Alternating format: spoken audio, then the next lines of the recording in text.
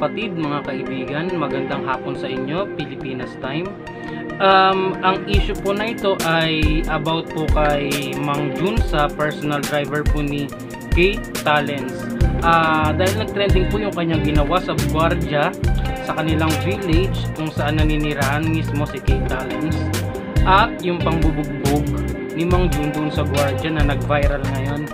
Um, minsan talaga ah, hindi natin masasabi na yung napakatagal na nating nakakasama sa buhay at nagagawa pa nating ipagtanggol sa karamihan eh masasabi na talaga nating tunay at tapat nating kaibigan. Kagaya nga po ng ginawa ni Kate Talents kay Mang Jun. Ang masasabi ko po dito ay isa siyang traitor ah, sa taong nagtatanggol sa kanya. At itinuring siyang hindi lang isang kaibigan bagkos hindi lang din isang amo ngunit um, isang totoong kaibigan na nagmamalasakit sa kanya simula't simula pa lang. Pero dahil sa nangyari ngayon sa kanyang pagiging makasarili sa kanyang pagiging womanizer na gusto niyang itago at hindi mailathala ang kanyang mga kasiraan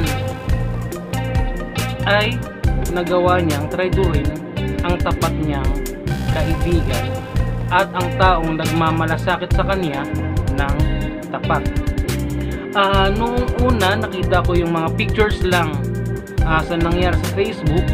Um, hindi ako naniniwala dahil isa po ako sa mga taga-subaybay ng kasatsat ni Kate Talents sa kanyang mga katulong at ng kanyang driver na si Mang Jun. Um, pero sa nangyari, gumawa nga po ako ng unang video na talagang negative ako kay Mang Jun sa nangyari. Pero ito na po yung totoong dahilan. At nalaman na po natin mismo kay Mang Jun. At ito nga po ay masasabi kong si Kate Talents po pala ay isa sa mga toxic people na dapat nating iwasan. Napakabuti, napakabait. Yung kanyang public figure talagang kanais-nais, kahanga-hanga. Pero sa kabilang banda, meron lang po pala siyang intensyon para sa kanyang sarili. At ang masasabi ko po dito, isa siyang user, manggagamit para sumikat. Mm, tinalikuran niya ang isang tapat, hindi lang empleyado, ngunit isang kaibigan na handang ipagtanggol ka sa kahit na anong paraan, kahit na ikasisira niya pa. Ngunit, tinalikuran mo ang taong ito para sa iyong sarili ni hindi mo man lang siya ipinagtanggol bago sinisira mo pa. Anong klase amo anong klase kaibigan? So eto mga kapatid panoorin po natin ang totoong dahilan kung bakit po ito nagawa ni Mang Jun. Ito po ang pinagmulan kung bakit nasaktan ni Mang Jun ang gwardiya nang dahil lamang po sa pagmamalasakit sa kinilalang kaibigan ng napakatagal na panahon. So, ayun mga kapatid, ang lesson, hindi talaga lahat ng nasa harap natin ay tapat at mabuting kaibigan. So, panoorin natin ang rason ni Mang Jun kung bakit niya nagawa ang mga bagay na iyon. Pero Mang Jun, ah, paninindigan ko yung aking unang ginawang content na kung ano man ang rason eh wala ka pa rin karapatan na manakit dapat ah, isinabatas nyo na lang ang issue so ayun pero isa mo na rin ako sa mga taga-subaybay at sana maging mabuting kaibigan tayo so maraming salamat halina at panoorin natin ang mga dahilan at rason ni Mang Jun so maraming salamat po, wala pong dahilan. So, nangyari po yun kasi yung guard po, actually yung guard po, hindi ko po yung personally kilala. Kasi reliever lang po yun for 2 days. 2 days pa po siya duty doon. So, may ginawa po siyang mga kwento na paninira sa kasatsat na hindi naman niya po yung pangalan po na ang pagkakasabi parang galing po sa akin yung kwento ng nangyari na hindi naman po kami nag-usap. Hindi ko po siya kilala. Alam niyo po yan. So siyempre alam mo naman po kung paano ko ipagtanggol si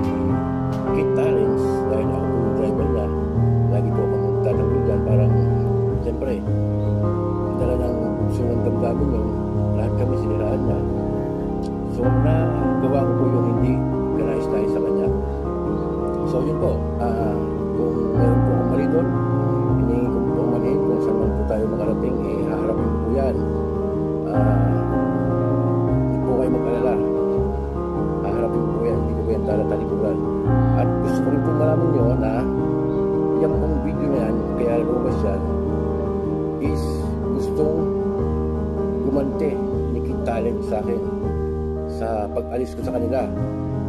Actually, hindi po ako umalis. Pinaalis po ako ni Bena.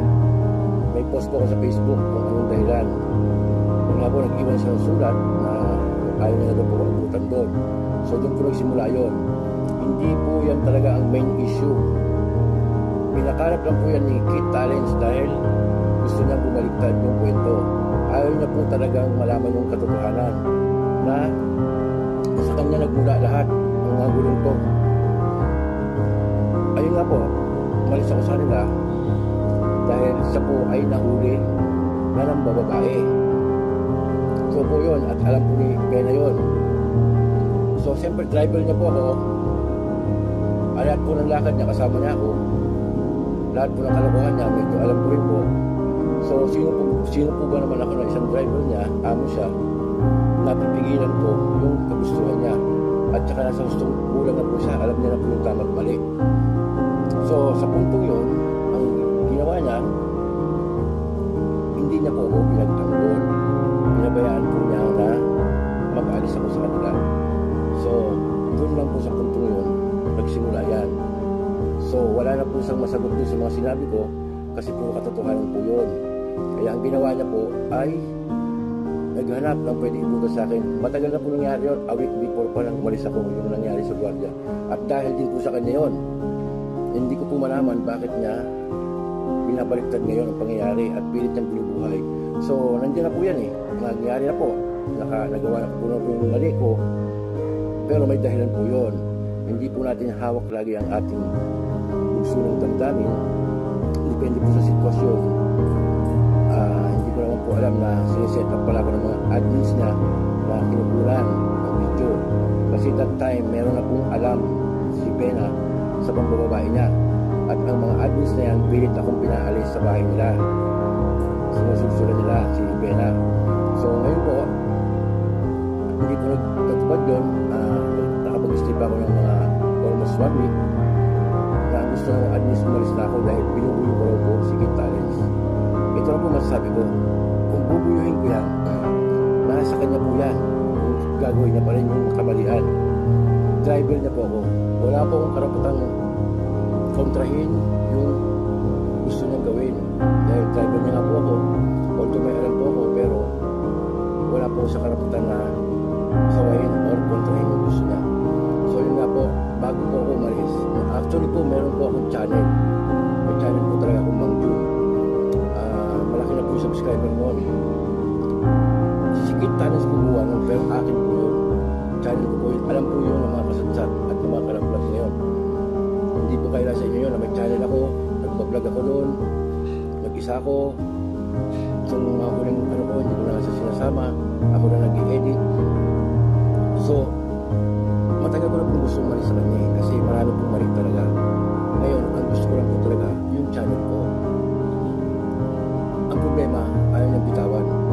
Since po, hindi po ako kumita sa channel ko. Hindi ko po nakita kung magkano kinikita niya. Yung silver button ko, tinatago niya yata. Ang tagal-tagal na, wala pa. Ito po, ah, Mang po ang pangalan niya. Hanggang sa pinalitan niya po ng Mang Jun and Kasatsat Family. Hanggang sa naging Kasatsat Family na lang na wala na po ako doon. Dinilit na rin po yung mga itong video. Po ang Mang Jun, lalabas po Kasatsat Family. So yun po yung channel ko. So yan, take note po ah. Akin pong channel pero hindi po kumikita. Ano kung meron siyang pag-iisip, di ba? Sabi niya gusto niya tulungan ng mga tauhan niya, pero ang ginagawa niya, parang kinakamkam niya. Kakurampot lang na kikitain. Kaka- Kakamkamin pa niya. Sumasahod ko po yung channel ko, bibigyan niya lang po. Una, binigyan ako 10,000. Hati daw kami. bakit po kami maghahati? Eh, sobra-sobra na po yung hirap ko sa vlog niya. Nakikita niyo po yun. Halos hindi na po ako natutulog. Ayan, isa na po yan. Bago po ako malis, nung huling araw ko doon sa kanila, kinausap ko po siya kasi alam niya po talaga kung saan lang ako kumikita. Sahod ko bilang driver. Yung binibigay naman po niya, hindi naman po regular yan. Extra-extra, hindi po regular yan. May bigay man po yan sa akin. Panigurado galing din po sa channel ko yun. So, binigisa lang niya po ako sa sarili kong mantika. So, ito po, ang siste. Sabi ko sa kanya,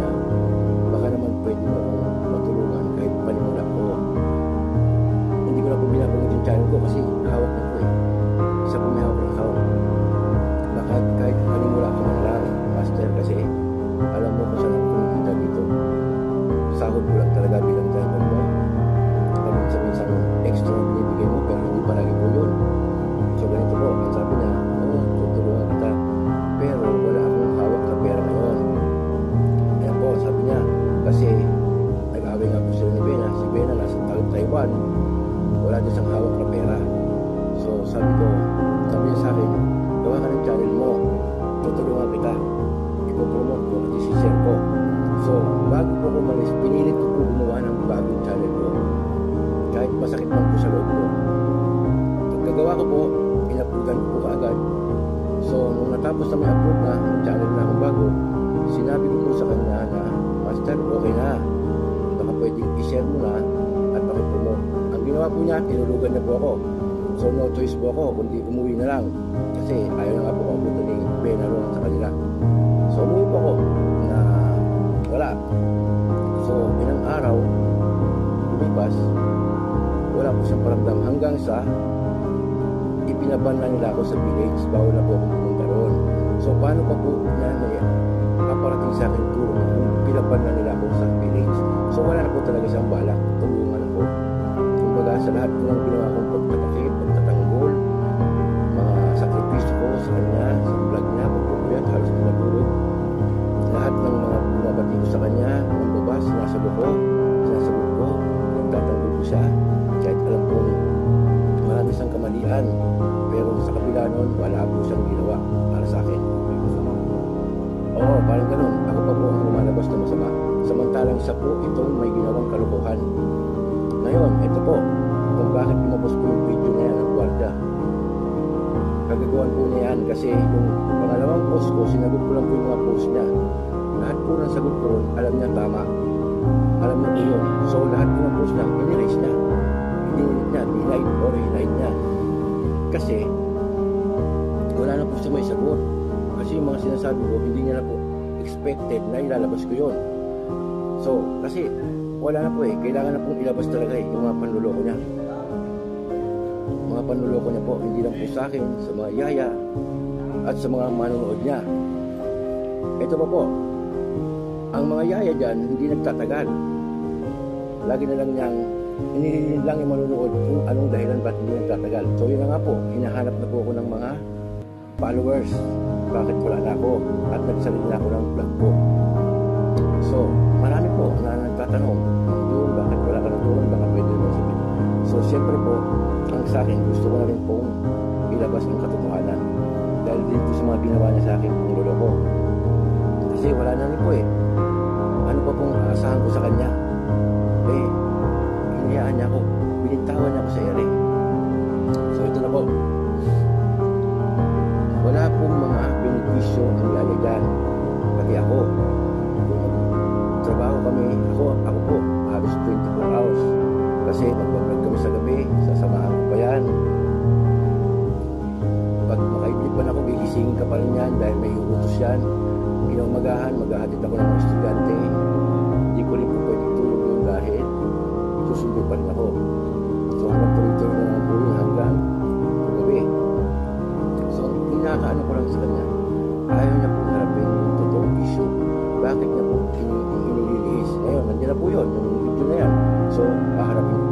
Ibang party po yan. Pero nagmula po lahat ng yan ay kay Kid Talents. Yan lang ang sinasabi ko sa Kid Talents. Pag nakatotoo ka, huwag kang nangdadamay pa ng iba. So, yan po, yung incident yan, harapin ko yan kung saan kayo makarating. Ulitin ko sa inyo. sana harapin din po ni Talents yung problema niya sa akin. Unang-una, yung pinasok ko dyan, mga benepisyo ko, dapat ibigay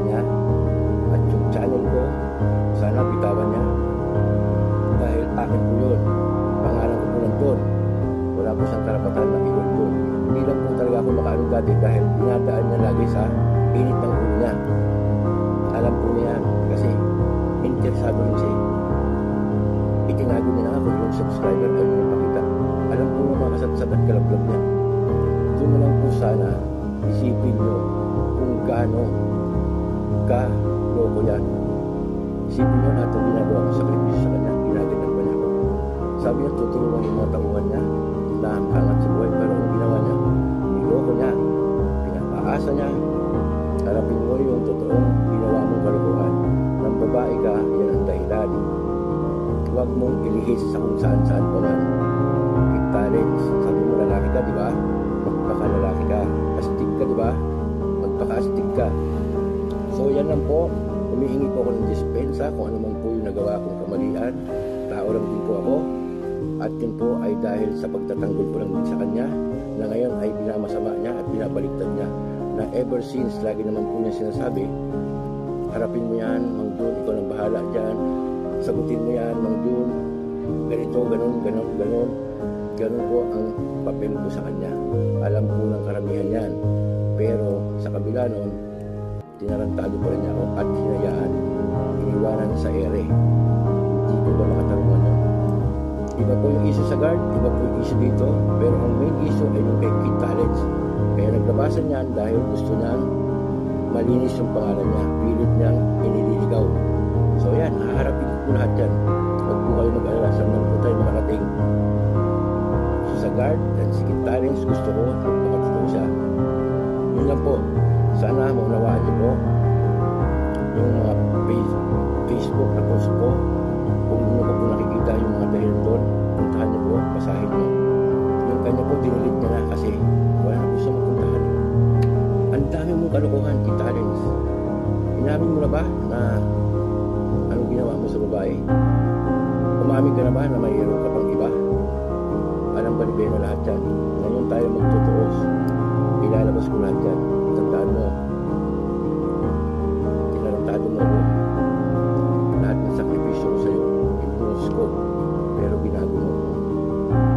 lang po mga kalaglag. Sana maunawaan niyo po ngayon sa aking paliwanag na to. Haharapin ko po yan. Huwag po kayo mag-alala. Basta sige talents sa'yo nagmula lahat ng gulong to. Sa'yo sa inyong mag-asawa. Sana iniisip niyo muna kung ano bang kahinatnan nito bago niyo isip mo sarili mo. Sana isipin niyo muna yung mga tao na sa inyo nagmamahal sa inyo na ganyan tinatapak-tapakan nyo isa pa po yung video ni Yaya Hina. Yaya Hina hindi kita dinamay. Tinulungan ko ba kayo eh. Tingnan nyo bigla siyang ah, ano ng benefits benefits nyo ano sabi niya doon? Hindi daw nila alam. Kalokohan. Ang dami mong kalokohan alam yung sa batas di mo alam. Na yayahina hindi ka naman kita dinamay. Iba kasi yung sinasabi mo sa video sa totoo sa kalooban mo alam mo yan huwag kang magsinungaling ilabas mo yung totoo kung gusto mo magsalita ngayon kung ayaw mo manahimik ka ano ba sinasabi mo sa video mo kung mabait sila mabait sila hindi ka mapakali para kang aligaga hindi ka nga makatingin ng diretso sa camera parang may sumisenyas pa sa'yo ini-script na, tinuturuan. Yun po yung totoo kasi alam ko po yung King Talents. Alam ko lahat ng galaw niyan. Lahat ng baho niyan, alam ko. So, ikaw King Talents, umayos ka. Huwag mong ilihis ang istorya. Lahat ng ito ay dahil sa'yo. Tandaan mo yan. Maghaharap-harap tayo. Lahat ng kalokohan mo, isisiwalat ko yan para lang mat- matahimik ka sa panluloko mo. So yan mga kalablag, maraming maraming salamat sa inyo. Dito na po pala yung kaibigan ko, si Christian. Yan. Uh, niya. So yan, maraming maraming salamat po sa inyo. Sa muli po, ah, harapin po yan. Huwag po kayong mag-alala. Saan man po tayo makarating. Sa totoo lang po tayo. maraming maraming salamat po sa inyo.